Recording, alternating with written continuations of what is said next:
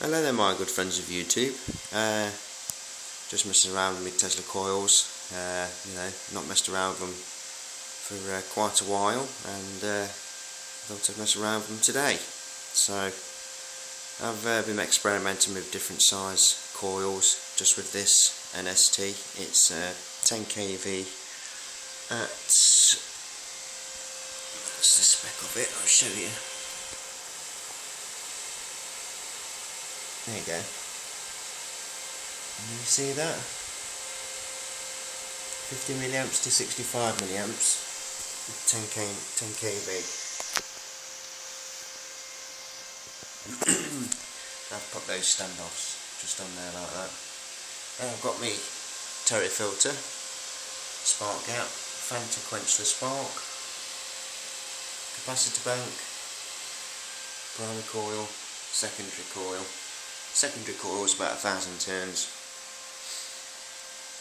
Uh, I've been trying different top loads and I've been messing around with my ZVS driver and flybacks getting arcs as well. But uh, I thought I'd do a video on the NST one anyway.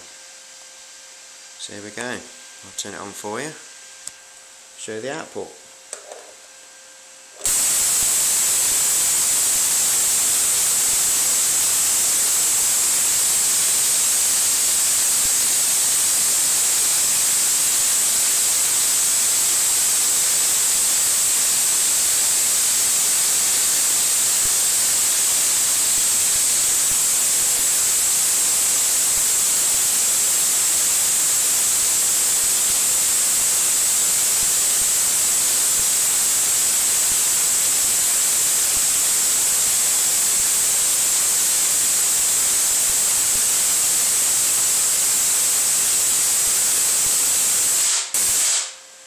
There you go guys.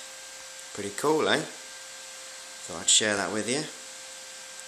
Says I've not done a video for a while. Thanks for watching. Look after yourselves, be safe, and we'll speak again.